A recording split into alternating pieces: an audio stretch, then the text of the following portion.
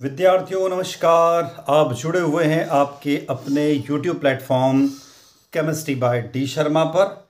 मेरे साथ, यानी डॉक्टर देवेंद्र कुमार शर्मा के साथ में। विद्यार्थियों, इस वीडियो लेक्चर में हम जिस पेपर को डिस्कस करने वाले जिसका सॉल्यूशन देखने वाले यह पेपर एमसीबीयू यानी महाराजा छत्रसाल बुंदेलखंड विश्वविद्यालय छतरपुर का पेपर है। विद्यार्थियों, यह पेपर दिनांक तीन जुलाई 2024 को हुआ है। पेपर पर आपको स्क्रीन पर दिखाई दे रहा है। अब हम चल रहे हैं इस पेपर के सॉल्यूशन की ओर। उससे पहले आपसे अनुरोध है कि वीडियो अच्छा लगता है तो वीडियो को लाइक करिएगा। अपने क्लासमेट तक इस वीडियो को शेयर अवश्य कीजिएगा। अभी तक आपने कमेंट बॉक्स में कमेंट नहीं किया तो कमेंट बॉक्स में कमेंट करके ज़रूर बताइएगा और चैनल को सब्सक्राइब करना ना भूलिएगा। विद्यार्थियों, यह जो पेपर है, फाउंडेशन कोर्स सेकंड का पेपर है। इसमें पार्ट एम एम बात करेंगे एंटरप्रेन्योरशिप डेवलपमेंट यानी उद्यमिता विकास, और पार्ट बी वुमन एम्पावरमेंट यानी महिला सशक्तिकरण के दोनों के 50-50 प्रश्नों के सॉल्यूशन देखेंगे। विद्यार्थियों, पहला प्रश्न आपको स्क्रीन पर दिखाई दे रहा है कि उद्यमिता शब्द किस भाषा का शब्द है? तो करेक्ट आंसर पहले का डी हो जाएगा। यह एक फ्रेंच भाषा का शब्द है। कौन से भाषा का? फ्रेंच भाषा का शब्द है। प्रश्न क्रमांक दो तो उद्यमिता एक नव प्रवर्तनकारी कार्य है। यह कथन किसका है? तो दूसरा करेक्ट आंसर बी ऑप्शन हो जाएगा शुम्पिटर का स्टेटमेंट है, किसका? शुम्पिटर का। प्रश्न क्रमांक तीन, भारतीय उद्योग के संबंध में उद्यमिता है तो आवश्यक है। क्या है? आवश्यक है। प्रश्न क्रमांक चार, निम्नलिखित में से कौन सा कथन असत्य है? विद्यार्थियों, प्रश्न क्रमांक चार का करेक्ट आंसर हो जाएगा सी उद्यमी जोखिम वहन करता नहीं है। यह गलत है, क्योंकि उद्यमी जो रहता है, वो हमेशा जोखिम करता रहता है। प्रश्न क्रमांक पाँच, निम्नलिखित में से कौन सा गुण उद्यमी का गुण है? तो करेक्ट आंसर यहाँ पर डी हो जाएगा। सभी गुण उद्यमी के गुण होते हैं। प्रश्न क्रमांक छः उद्यमी उत्पादन का उत्पाद है। तो प्रश्न क्रमांक, यदि हम लोग कहें कि जो छः उसका करेक्ट आंसर हो जाएगा ए ऑप्शन पांचवा उत्पाद है। क्यों? क्योंकि पहला भूमि होती है, दूसरा श्रम, पहला भूमि, दूसरा क्षम तीसरी पूंजी, चौथा संगठन और पांचवा जो है उसका नाम हो जाता है यहाँ पर उद्यम या उद्यमी। प्रश्न क्रमांक सात सातवां भारतीय उद्यमिता विकास संस्थान अहमदाबाद में स्थित है। कहाँ पर स्थित है? अहमदाबाद में। प्रश्न क्रमांक आठ, विकसित अर्थव्यवस्था में उद्यमी होता है तो जोखिम करता होता है साधक संगठक होता है, पेशेवर व्यक्ति होता है करेक्ट आंसर हो जाएगा उपयुक्त सभी। प्रश्न क्रमांक नौ, निम्नलिखित में से कौन सा गुण उद्यमी का नहीं है? कौन सा नहीं है उद्यमी का गुण? तो नौवे का करेक्ट आंसर हो जाएगा, विद्यार्थी ए ऑप्शन वैज्ञानिक नहीं होता है, क्योंकि वैज्ञानिक अलग फ़ील्ड है और जो इंडस्ट्रियल क्षेत्र है, यानी उद्यमिता है एंटरप्रीनरशिप है, वो अलग क्षेत्र है तो करेक्ट आंसर नौवे का ए ऑप्शन हो जाएगा। प्रश्न क्रमांक दस, निम्नलिखित में से कौन सा उद्यमिता विकास की आंतरिक समस्या है? आंतरिक समस्या की बात की गई है प्रश्न क्रमांक दस में तो दस का सी हो जाएगा, वित्त की समस्या, बहुत बड़ी समस्याएँ होती है तो सी ऑप्शन हो जाएगा वित्त की समस्या। प्रश्न क्रमांक दस निम्नलिखित में से उद्यमिता विकास के बाह्य समस्या है। तो ग्यारहवें का करेक्ट आंसर बी ऑप्शन हो जाएगा, ऊँची लागतें हाई कॉस्ट ये सबसे बड़ी बाह्य समस्या है। प्रश्न क्रमांक बारह, निम्नलिखित में से कौन सी उद्यमिता की चुनौती नहीं है? चुनौती नहीं है की बात करिए तो करेक्ट आंसर बारहवें का हो जाएगा सी ऑप्शन रचनात्मक प्रक्रिया नहीं है। प्रश्न क्रमांक तेरह, निम्नलिखित में से किस राज्य में महिला उद्यमियों की संख्या सबसे ज़्यादा है? तो विद्यार्थियों, पूरे भारत की बात करें तो सबसे ज़्यादा संख्या तेलंगाना में है। किसमें? तेलंगाना पहला जो राज्य वहाँ पर उद्यमियों की संख्या सबसे ज़्यादा होती है। वो तेरह का बी ऑप्शन हो जाएगा यहाँ पर, केरल, सेकंड नंबर पर केरल आता है। तो केरल करेक्ट आंसर है। प्रश्न क्रमांक चौदह, भारत महिला उद्यमी किन कारणों का परिणाम है?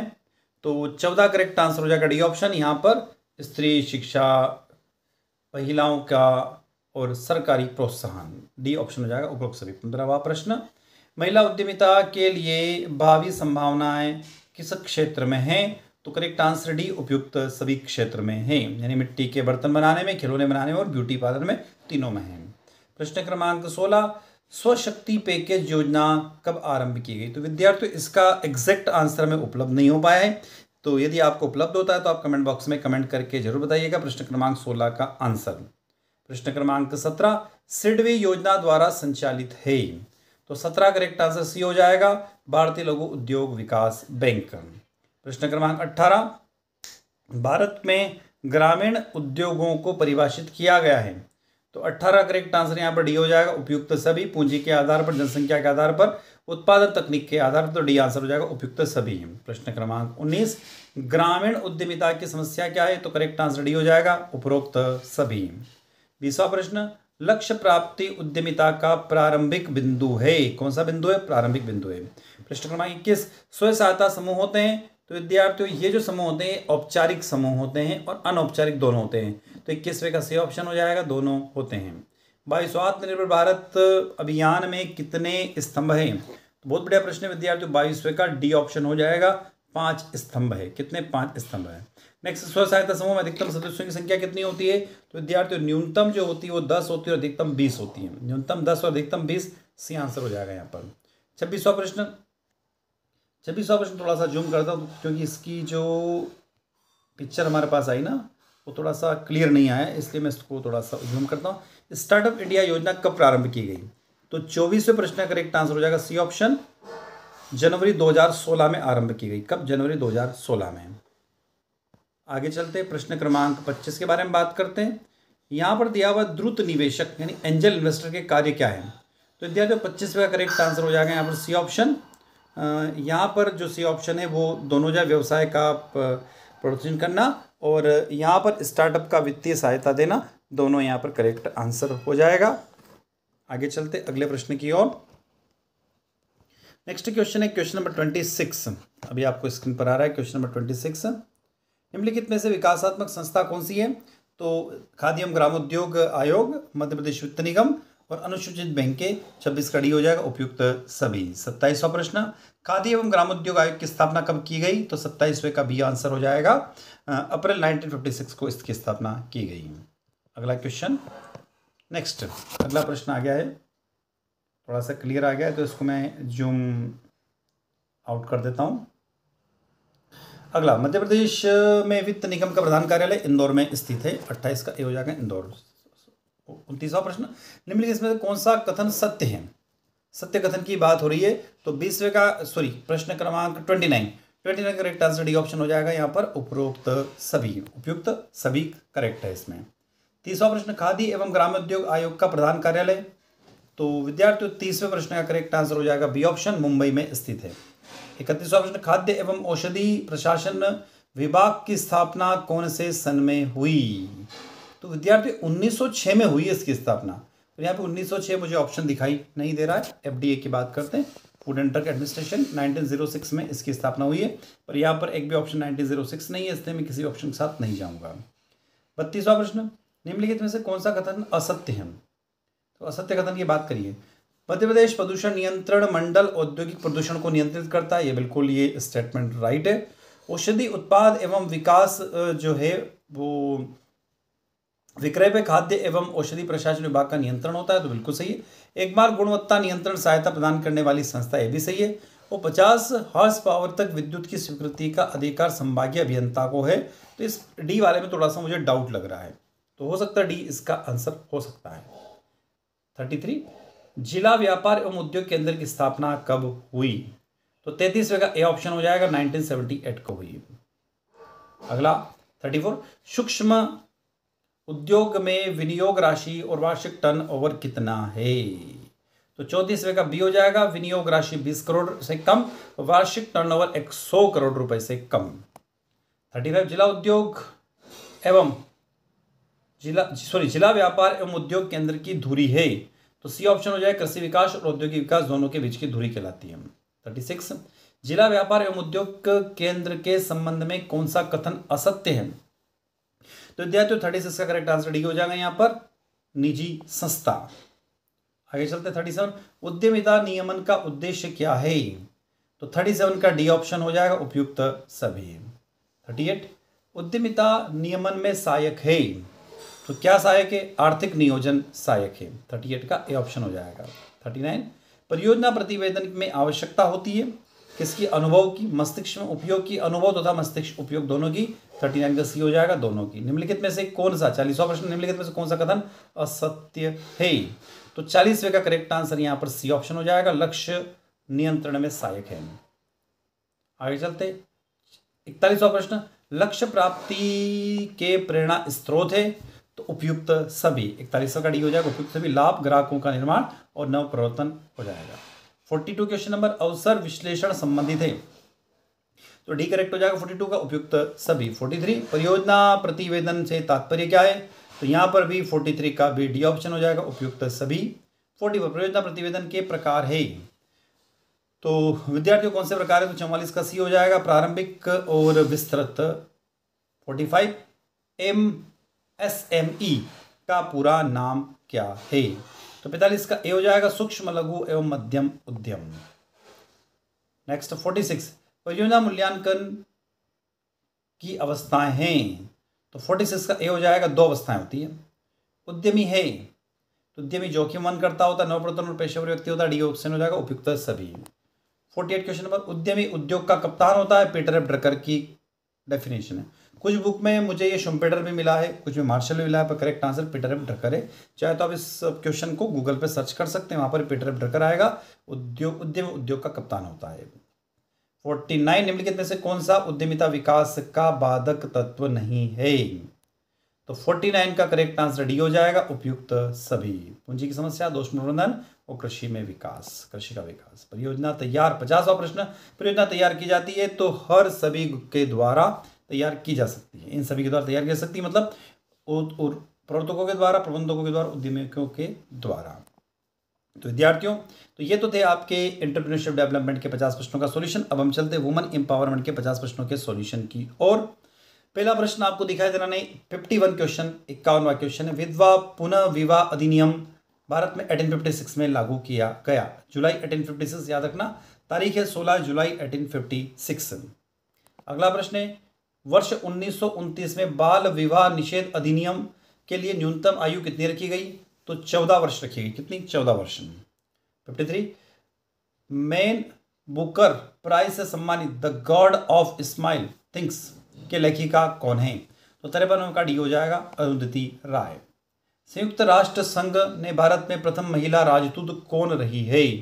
तो फिफ्टी फोर का डी ऑप्शन हो जाएगा, Ruchira Kamboj. Fifty five gender gap 2023 की रिपोर्ट के अनुसार भारत में लिंगानुपात का कितना प्रतिशत सुधार हुआ है?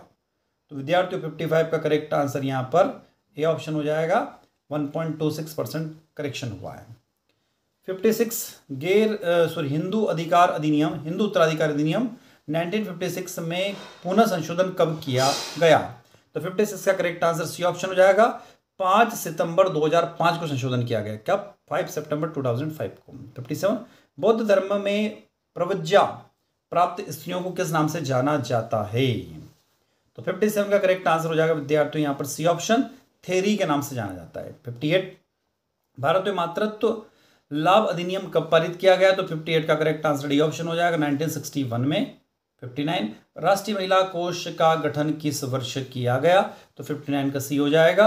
1993 में किया गया। 60 प्रश्न, उज्ज्वला योजना जो है महिलाओं की, को गैस सिलेंडर प्रोवाइड कराने के लिए लागू की गई है। साठवा प्रश्न, महिला हेल्पलाइन के अंतर्गत one zero nine zero number आता है या one zero nine one toll free number आता है। तो साठवें का बी ऑप्शन यहाँ पर करेक्ट हो जाएगा। इकसठवा प्रश्न महिलाओं पुरुषों में समान कार्य के लिए समान वेतन, कौन सा अनुच्छेद और अनुच्छेद बत्तीस के अंतर्गत आता है समान कार्य के लिए समान वेतन? सिक्सटी टू, सी बॉक्स क्या है तो एक आंदोलन जो समान कार्य, समान वेतन पर आधारित है सिक्सटी फाइव, प्रथम विश्व महिला सम्मेलन 1975 में कहाँ आयोजित किया गया? तो मैक्सिको में आयोजित किया गया। पैंसठ, भारत की प्रथम महिला राष्ट्रपति श्रीमती श्रीमती प्रतिभा देवी सिंह पाटिल। सिक्सटी सिक्स बाल संघ अपराध को किस श्रेणी में रखा गया है? तो छाछठ का बी हो जाएगा ये थ्री सेवेंटी नाइन ए धारा के अंतर्गत। Sorry three seventy six A याद रखिएगा, धारा three seventy six A sixty seven निम्न में से लाडली लक्ष्मी योजना का उद्देश्य क्या है? तो बालिका के जन्म के प्रति सामाजिक सोच में सुधार उत्पन्न करना सिक्सटी सेवन का B sixty eight. Kalangi Devi पुरस्कार किस कार्य हेतु दिया जाता है? सिक्सटी एट का ए हो जाएगा बाल लिंगानुपात में सुधार के लिए। Sixty sixty nine. गाँव की बेटी योजना के में छात्राओं को प्रतिवर्ष पाँच हज़ार रुपये वार्षिक दिया जाता है। इसमें उन लड़कियों को दिया जाता है जो गाँव में रहने वाली होती है। और दूसरी बात, इनके लिए खास बात ये कि उनको बारहवीं में साठ प्रतिशत उत्तीर्ण करना अनिवार्य है। Next seventy question. Sukanya Samriddhi Yojana कब प्रारंभ हुई? तो सितर का ए ऑप्शन हो जाएगा दो हज़ार पाँच में। नेक्स्ट मुख्यमंत्री लाडली बहना योजना हितग्राही हो तो पात्रता नहीं है तो पारिवारिक आय तीन लाख प्रति वर्ष से अधिक वालों के लिए योजना लागू नहीं है। पंख अभियान, उपरोक्त सभी, सेवेंटी टू का डी हो जाएगा उपरोक्त सभी। सेवेंटी फाइव राष्ट्रीय महिला आयोग की स्थापना कब हुई? तो सेवेंटी थ्री का करेक्ट आंसर सी हो जाएगा जनवरी 1992 में हुई। कब जनवरी 1992 में हुई? 74 जामली योजना का मूल उद्देश्य क्या है? तो 74 का डी हो जाएगा। डी ऑप्शन क्या है? वेश्यावृत्ति उन्मूलन के लिए और ये योजना 1993 में आई थी। जामली योजना वेश्यावृत्ति उन्मूलन के लिए बाणु तराणों में लागू की गई थी। 75 महिलाओं के प्रति अपराध, हिंसा का रूप नहीं है तो कुपोषण नहीं है। डी ऑप्शन करेक्ट हो जाएगा। 76 दहेज प्रथा को बढ़ावे के लिए जिम्मेदार नहीं है महिला शिक्षा।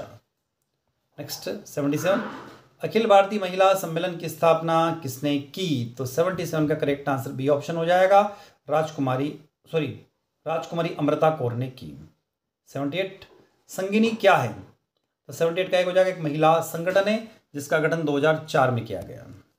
सेवेंटी नाइन अखिल भारतीय महिला शिक्षा कोष संघ की स्थापना कब की गई? तो सेवेंटी नाइन का डी ऑप्शन हो जाएगा नाइनटीन ट्वेंटी नाइन में की गई। अस्सीवा प्रश्न, स्वयं सहायता समूह का उद्देश्य नहीं है। तो अस्सी का बी ऑप्शन हो जाएगा, आजीविका के अवसरों का सर्जन नहीं है बोल रहा है वो, अस्सी का बी हो जाएगा।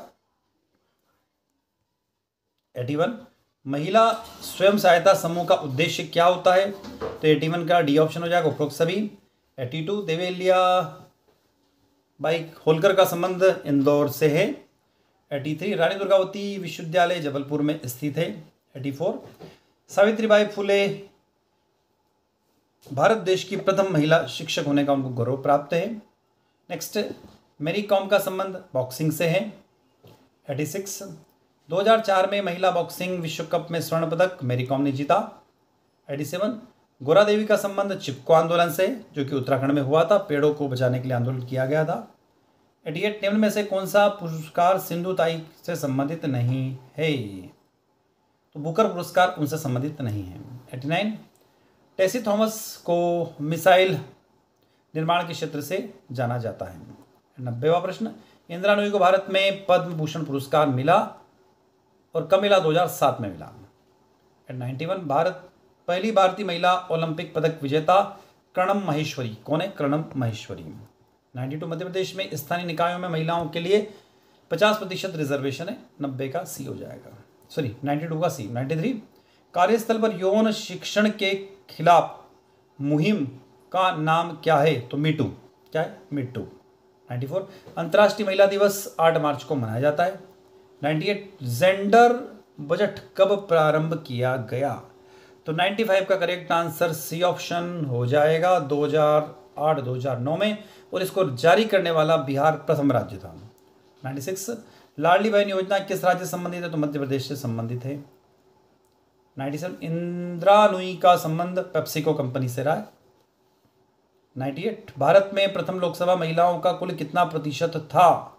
तो 98 का विद्यार्थी यहाँ पर साढ़े चार परसेंट था, चार दशमलव चार परसेंट। चार ऑप्शन यहाँ मैच नहीं कर रहे हैं। चार दशमलव चार परसेंट। मतलब उस टोटल टोटल बाईस सदस्य थे। जितने भी लोकसभा सदस्य थे, उसमें बाईस सदस्यों की संख्या महिलाओं की थी। Ninety nine question. यहाँ पे जो नाइनटी नाइन बेटी बचाओ, बेटी पढ़ाओ योजना के अंतर्गत मध्य प्रदेश में कटनी ज़िले का संबंध में कौन सी योजना है तो विद्यार्थियों, इसका ऑप्शन या इसका आंसर में उपलब्ध नहीं हो पाया। यदि आपको पता है तो कमेंट बॉक्स में कमेंट करके ज़रूर बताइएगा। प्रश्न क्रमांक निन्यानवे का, नाइन्टी नाइन का। स्व प्रश्न, वर्तमान में मातृत्व लाभ अधिनियम, लाभ अवधि कितने हैं? तो पहले ये जो बारह माह थी, अब उसको बढ़ाकर छब्बीस सप सॉरी पहले बारह सप्ताह थी, उसको बढ़ाकर छब्बीस सप्ताह, यानी कि छः माह कर दिया गया है। तो विद्यार्थियों, ये पेपर था एम सी बी यू यानी महाराजा छत्रसाल बुंदेलखंड विश्वविद्यालय छतरपुर का पेपर जो दिनांक तीन जुलाई दो हज़ार चौबीस को हुआ। आई होप वीडियो लेक्चर आप लोग को अच्छा लगा होगा। वीडियो लेक्चर अच्छा लगता है तो वीडियो को लाइक करिएगा। अपने क्लासमेट तक, अपने साथियों तक इस वीडियो को शेयर अवश्य कीजिएगा।